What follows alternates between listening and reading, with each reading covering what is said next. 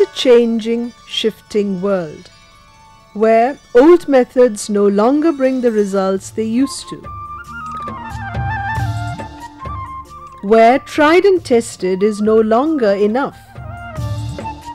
It's a world that calls for new thinking, new strategies, and new plans of action. In every sphere of activity.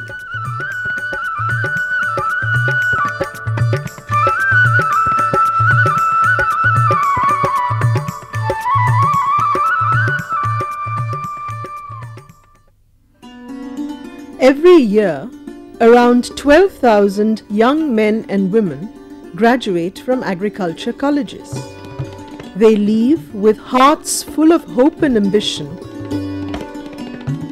to make a future in the largest sector of the country's economy. They represent an important pool of expertise waiting to be tapped expertise that the farmer sorely needs to meet the demands of a changing market. But only 20% of these young graduates find jobs in their fields of study. The rest remain unemployed or drift into some alternative career that will give them a livelihood.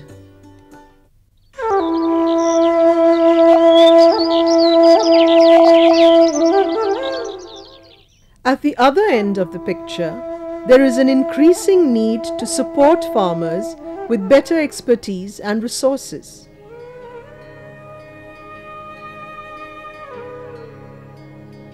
The public extension system has been put under severe strain and the WTO has brought in the kind of competition that Indian farmers have found very difficult to deal with. Technological advances have sped past them, making their means and their methods inadequate.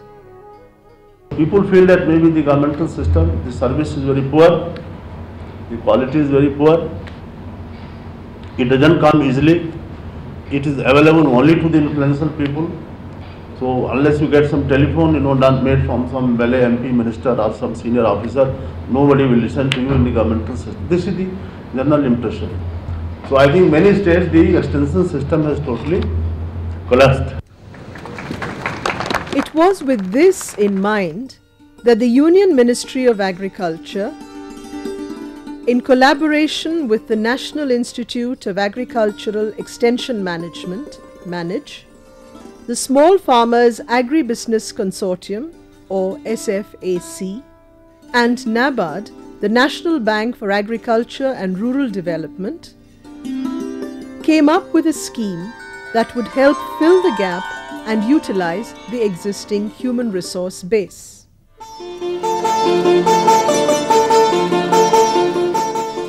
This was the Agri Clinics and Agribusiness Center scheme.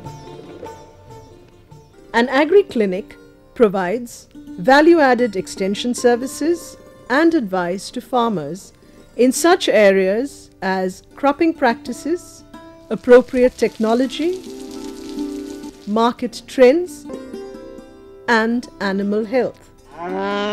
In other words, self employed consultants will provide round the clock, accountable, and cost effective services to farmers in their villages for a fee. An agri-business center provides material inputs such as seeds, fertilizer, farming equipment, and so on. The ministry articulated the vision. Manage would coordinate the training and monitor the scheme. SFAC would coordinate and channelize the funding. NABARD came up with the financial guidelines and would be the refinancing authority. In addition, three other players in each state would contribute to making the scheme a success. The state government departments, the agribusiness concerns, and the non governmental sector. It's a scheme to replace the informal private sector extension which exists right now.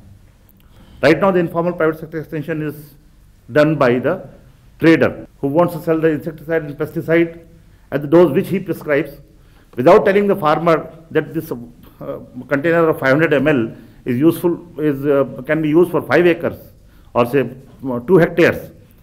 So the appropriate dosage is never told to the farmer by a qualified competent person to whom the farmer can go back and say look your advice was wrong. This informal system exists we want these competent people to live there and to have a formal system in which their advice can be questioned. With the agri clinics and agri business centers, extension would take the form of consulting. A new cadre of professionals would be created to serve the needs of farmers. Ah, this scheme will have a three-dimensional impact in our agricultural extension systems in the country. The first and the foremost dimension is supplementation of extension systems, whether it is public or private. Number two, proximity to farmers. And the third aspect which comes to my mind about the impact is a decent and dignified livelihood to a large pool of hitherto unemployed agricultural graduates. It will provide a meaningful occupation for the whole life. The new scheme was launched across the country on April 9, 2002 with the aim of tapping the huge knowledge base in agriculture and related disciplines and putting it to the use of the farmer. Very quickly, the plan began to be implemented.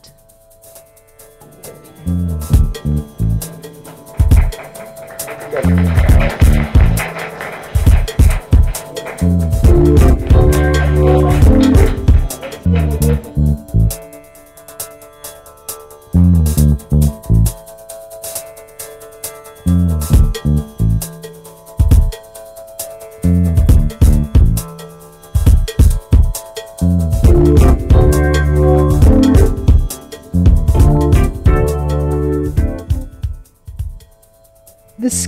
which is an important element in the 10th five year plan, aims to establish 25,000 agri clinics and agri business centers over the next five year period.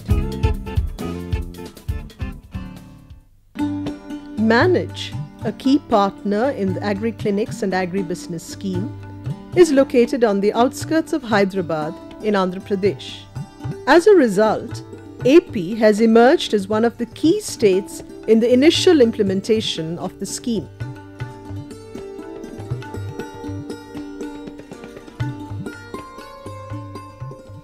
When we advertised uh, this scheme in newspapers in the month of March 2002, we received overwhelming uh, response from uh, unemployed agriculture graduates. 14,500 applications we have received we have networked with 60 training institutes throughout the country, starting from Jammu and Kashmir to uh, Kerala and uh, Gujarat to Assam. All, almost all the states are covered and training programs are in progress. In first cycle, uh, which covered 12 states and 26 training institutes, we have trained 603 agriculture graduates.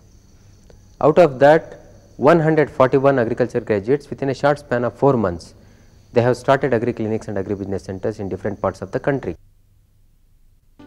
In Andhra Pradesh, five institutes are involved in this training. These are the Extension Education Institute of the Acharya N.G. Ranga Agricultural University, the Center for Entrepreneurship Development, the Participatory Rural Development Initiatives, the Nagarjuna Agricultural Research and Development Institute, and the Confederation of Fisheries and Aquaculture Industry Welfare Organization. At each of these training centers, the program is headed by a nodal officer. The students, in batches of 30, go through two months of training.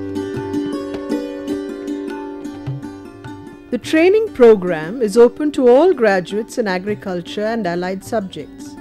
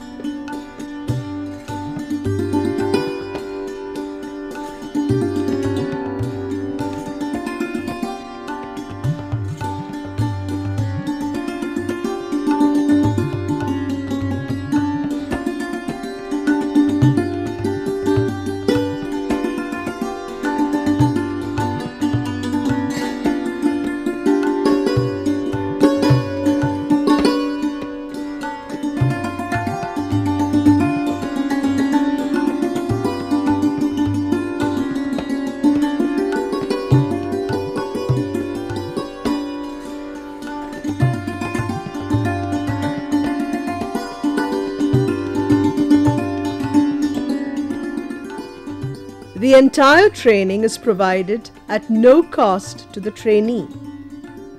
It is seen as an investment in the future of our country's agri economy. Both experienced and fresh graduates may apply. As a result, the trainees represent a diversity of backgrounds and aspirations. S. Kotaya, for instance, finished his BSc in agriculture in 1995 and is now undergoing training in the Agri Clinics division of Nagarjuna Fertilizers and Chemicals. He wants to set up his own agri consultancy in Guntur district. గుంటూరులో Bazar. I want to start my agri clinic in Patnam Bazar area in Guntur town, where there are about uh, 400 shops that sell fertilizers, pesticides and other inputs to farmers. Farmers from surrounding villages come here in large numbers every day. Uh, these farmers have no knowledge of which fertilizer or pesticide they should use for their crops. Most of them depend on unscrupulous dealers to select fertilizers or uh, pesticides for their crops. If I can capture even one or half percent of these farmers to whom I can give the right advice through my agri clinic, it would be a great success. Once the farmers gain confidence in me and my advice, I will slowly start the agri business center where I will sell them the crop inputs. I am sure I can soon earn a profit. Netaji, on the other hand, has a PhD in plant breeding and genetics. He wished to set up an agri clinic and seed production business in his native village. Basically, for seed, they are uh, advising me not to go for processing in coastal areas because of humidity. We cannot uh, maintain the viability of the seed. So there, I am again uh, thinking. So what to do for that? Whether I, I should uh, start from my native place itself, or I should choose the place which is suitable for seed production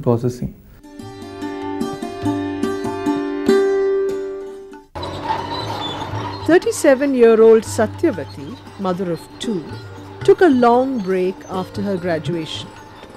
She was encouraged to return to the field when she saw the advertisement for the training program.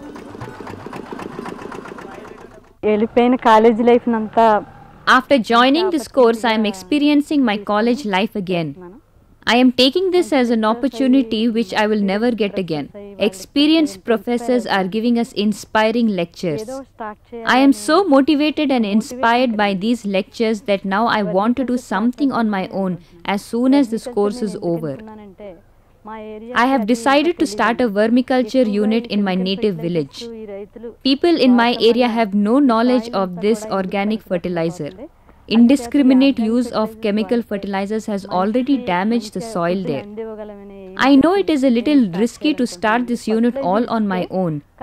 Nevertheless, I will start in a small way and gradually develop it, as I want to show them through my unit the advantages of using organic manures. The program curriculum is designed to provide managerial and marketing skills, whatever is needed to go from academics to the market. However, each institute has the freedom to interpret the suggested curriculum according to its resources. At NARDI, for instance, the focus is on a practical approach to technology transfer and finding business opportunities. Initially, these people were thinking about the business aspect only, but at the end of the training program, I am surprised to see everyone is talking about technology transfer and doing the business opportunities. That is one good thing clarity has been gained by these candidates. The second part what they are uh, thinking also is if I look only uh, one activity like uh, vermicompost or a biofertilizer, he cannot survive. That is also understood by these candidates. That's why they are looking at the combining two or three activities along with the technology transfer and establishing a base in the rural areas to gain the confidence of the farmers first, then do business with them. After the training, graduates can set up their own agri clinics or agri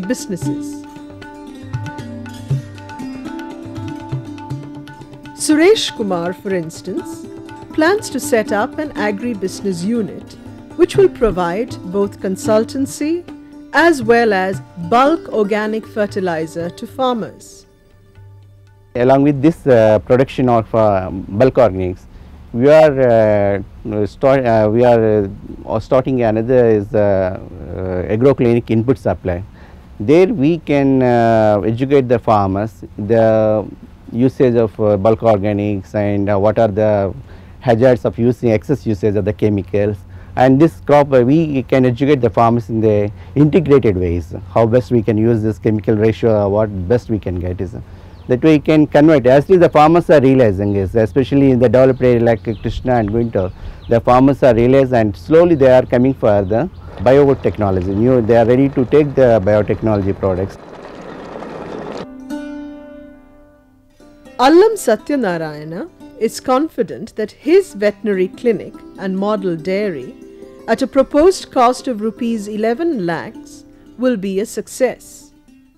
I want to start a private veterinary clinic along with a model dairy farm.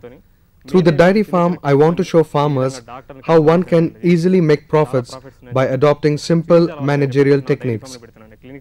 There is a myth that dairy farming is an unprofitable business. I want to prove this wrong through my model dairy farm. First, I will start a veterinary clinic where I'll provide consultancy services charging a very nominal fee. వాళ్ళకి నిరూపించాలని చెప్పని so ఈ విధంగా ఈ విధంగా కూడా ఫార్మర్స్కి dairy farmers కూడా help చేయాలని చెప్పని ఉద్దేశంతో ఇది పెట్టానండి The scheme also supports joint projects that involve two to five graduates, one of whom could be a management graduate with relevant experience. Creating a bankable project report is also part of the training. In short, the trainees emerge with a clear sense of how to make a project financially and technically viable. It's important to remember that not all proposals automatically receive funding. The proposals go through a process of evaluation and selection. The proposal must also show that it brings a clear benefit to the farmer. Loan to the individual will be given up to rupees 10 lakh and uh, a group of 5 can take a loan up to 50 lakhs. We are also uh, providing refinance to the banks and uh, refinance is on very very cheap uh, terms like uh, if you take a loan up to 25,000 the refinance will be 6.75 percent and uh, if uh, above to 25,000 it is 7.75. So bank accordingly is uh, giving loan to the people at the low rate of interest ranging between 12 to 13 percent. And in addition to this, NABARD is also giving soft loan, uh, margin money assistance under soft loan scheme. We have a scheme whereby we give soft loan under that uh, scheme to the beneficiary who is not able to afford the margin to be stipulated under the scheme. Shortfall of the margin we give up to 50 percent. But the story does not end with the training program. The students receive ongoing help from a designated nodal officer who supports them through the initial period. This handholding is an important feature of the scheme. The nodal officer acts as a mentor to the agripreneur. And my strength is post training support. And uh, that post training is very important for them to launch an enterprise. For example, they may have financial problem, technical problem, marketing problem or managerial problem or a problem in personal life. So, as a facilitator of entrepreneurship, I am available here not only for offering training, but also for troubleshooting these issues even after the training. Number two. After completing the course, an interface meeting with industry and financial sector representatives gives trainees a sense of the market. The purpose of that interface was to bring all these stakeholders uh, like the de- government departments, the officials of the government uh, developmental departments, uh, and uh, the private agribusiness companies, the bankers, the NGOs, and the agri graduates who have been trained under the scheme to one common platform where they can exchange the information about each other. So the companies uh, they have shared their information that is about their business, the company's business, what they are doing, what are the activities and uh, events they are uh, ventured into, and what kind of business opportunities they can provide to these uh, graduates under the scheme. However, the success of the agri clinics and agribusiness scheme depends on a variety of factors. One of the most important is the active partnership of the collaborating agencies. Some partners have already come forward to support these enthusiastic agripreneurs. So some of the services that we are envisaging are uh, related to the marketing that is uh, the promotion of our products, laying down the demonstration plots and uh, showing the farmers uh, about uh, the various uh, package of practices that are required to be carried out. Then there are other services related to understanding the farmer needs through our uh, questionnaires and other things, market research type of activities where we could involve these agri clinics. The state government is an important partner. The newly recruited or the new graduates who will be forming the core army in agri clinic they will be like the young budding people would be able to interact with the farmer and will be able to give a private consultancy service and also they were absolutely welcome to take up the licenses for various inputs. We have been giving instruction to the joint directors, we have been reviewing also at the state level bankers committee because the credit need will have to be met.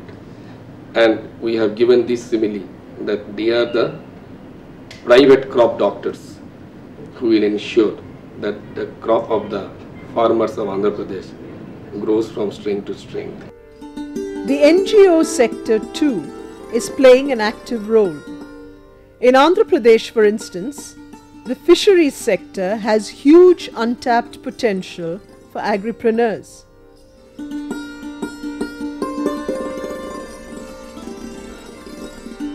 The profit margin is estimated as among the highest in the agricultural sector. The opportunities are very good in this because this is a neglected area in the present situation.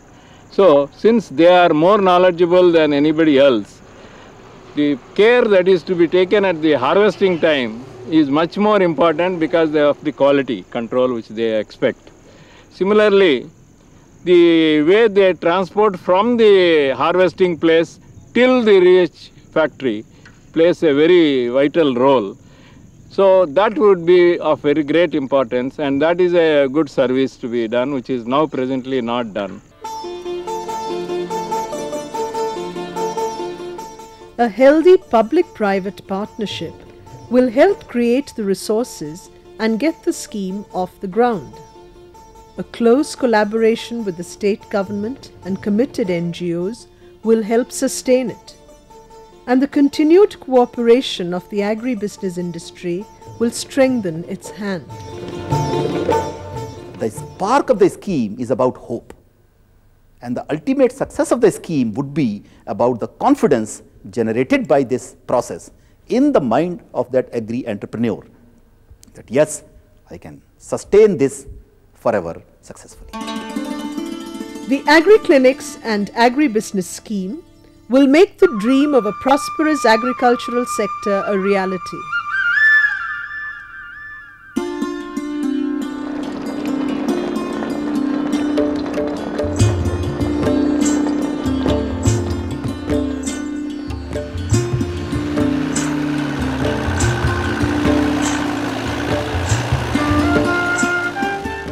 It will make India's farming sector more professional,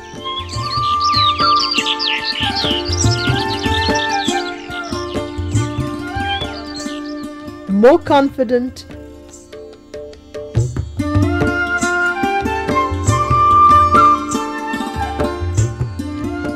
more competitive, and more ready to face the challenges of the future.